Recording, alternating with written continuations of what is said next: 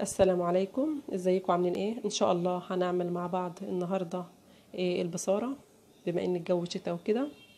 إيه معانا المقادير إيه فول مدشوش إيه كزبرة وشبت مفرومين معانا بصلة ومعانا توم ومعانا معلقة فلفل على توم مفرومة معانا ملح وفلفل وكزبرة مطحونين.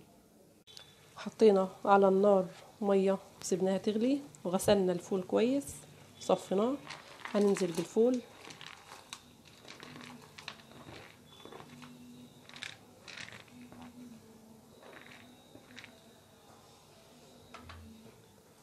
هننزل بالشبت والكزبرة.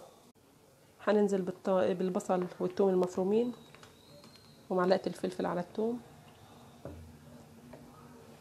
والبهارات. وهنسيبهم مع بعض لمدة ساعة على النار لما يستووا. ده كده شكل الفول بعد ما قعد ساعة على النار مع الخلطة بتاعته. هناخده نضربه في الخلاط ونرجعه على النار تاني.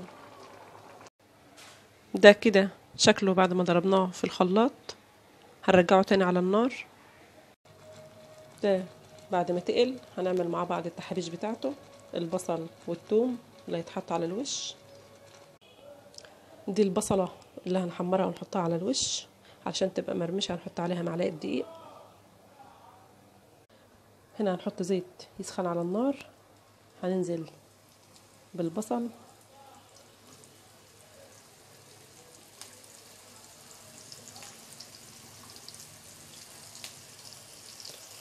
تقريبا نفس فكرة البصل بتاعة الكشري بس ده بيبقى متقطع صغير.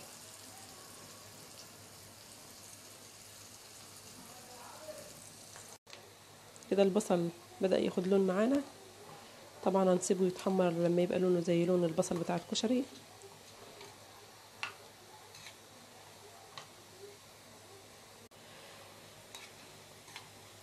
ده الشكل بتاعه كده. طبعا مش هنحطه بالزيت اللي هو فيه ده هنشيله من الزيت. طبعا الزيت اللي مكان البصل ده مش هنرميه. هننزل فيه بفص الثوم نحمره فيه.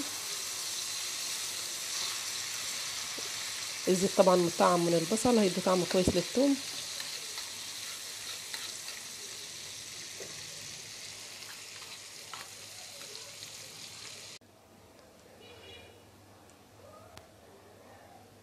ده كده الثوم هنحطه الأول قبل البصل.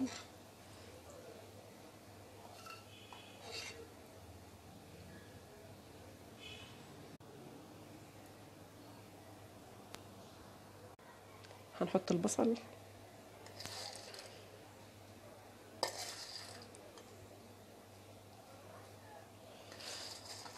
طبعا سمعان صوت البصل عامل إزاي؟